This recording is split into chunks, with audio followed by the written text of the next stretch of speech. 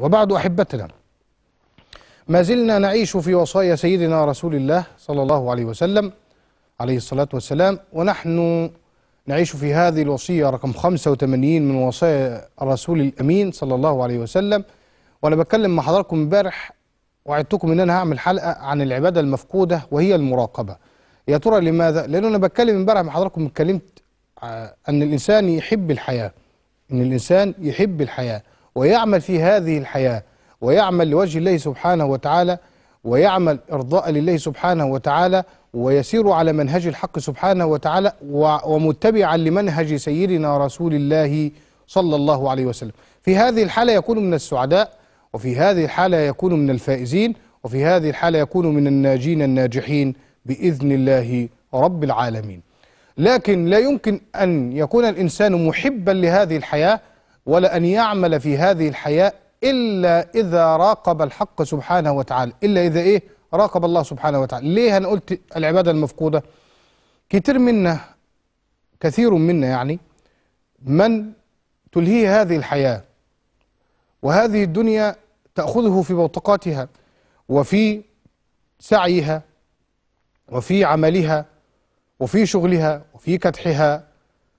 فيريد الإنسان أن يأخذ وأن يجني منها كل شيء أو معظم الأشياء فيغفل الإنسان عن ذكر ربه أو عن النظر إلى الحق سبحانه وتعالى يعني بأن الله مطلع عليه وأن الله ناظر إليه. فهذه الغفلة تجعله يسرق أو يزني أو يقتل أو يشرب المخدرات أو يفعل المنكرات أو يبيع هذه أو يستحل هذه أو يتاجر في هذه أو يأكل الميراث أو يأكل حق إخوته أو يظلم الجيران. كل هذه الموبقات وهذه الكبائر. ليه؟ لأن الحياة لهته. فأصبح مشغوفا ومشغولا بها بهذه الحياة. فسيطرت وهيمنة الحياة عليه.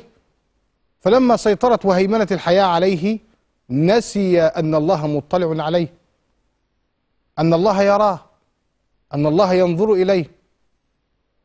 لأنه لو عاش في هذه الحياة محبا لها وناظرا فيها ويسعى فيها ويجني من ثمار هذه الحياة وهو مراقب لمولاه كان هذا السعي وهذا الجني وهذا وهذه القطوف التي يقطفها من هذه الحياة جاءت من حلال.